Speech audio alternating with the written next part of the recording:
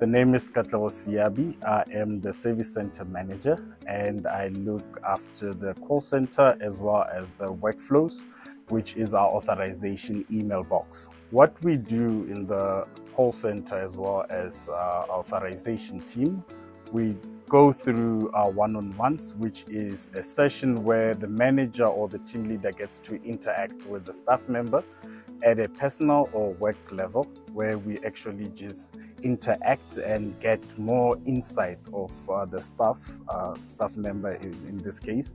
What is their goals? What are they trying to achieve? And how is Kaelo going to make it possible for them to reach their ideal goals? So in having that information being said, it is helping us as well to navigate with the Kaelo goals as well as interacting with our policy holders through our staff members. So we have a very detailed uh, training process where we actually take through all staff and we make sure that they have a clear understanding of the product that we have and how the product is helping uh, our society or our population in, in general. So we do actually get them to understand their role in the whole picture and we make sure that they get to understand how the members would like for the service to be provided to them and that helps them to provide the service that is required. And in having to match it with their internal goals or personal goals it actually makes the picture come together.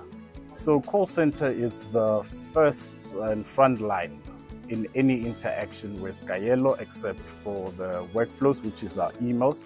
But then I do believe that the most effective way is through the call center. So having to have a trained and professional staff uh, in the call center space, it helps them provide the service, the quality service that the member is paying for or the member is looking uh, to ideally receive from the call center.